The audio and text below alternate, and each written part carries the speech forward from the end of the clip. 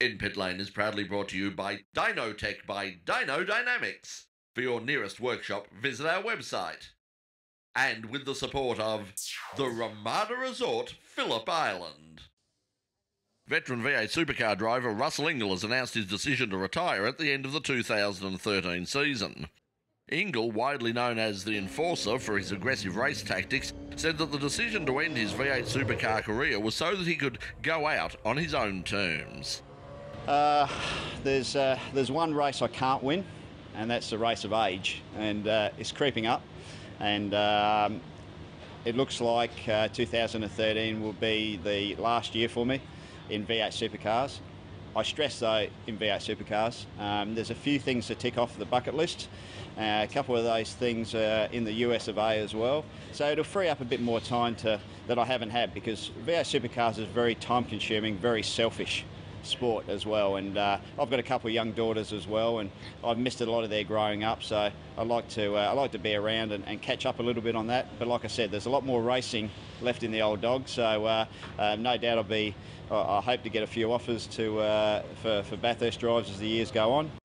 Ingall is one of the most popular V8 competitors and is the public face of the super cheap autos chain of motoring accessory stores right across Australia and New Zealand.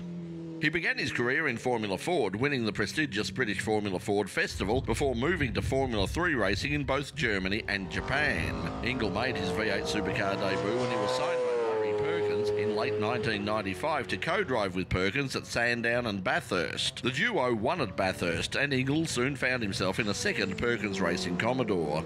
The pair won Bathurst again in 1997, the Sandown 500 in 1998, and the inaugural Queensland 500 in 1999. Oh, look, there's no doubt about it. The, the championship in 05 uh, was a highlight. You know, after being four times runner up in the championship, I never thought I was going to win one. So to grab that championship win was great. Uh, but you can't go beyond the two Bathurst wins, I think.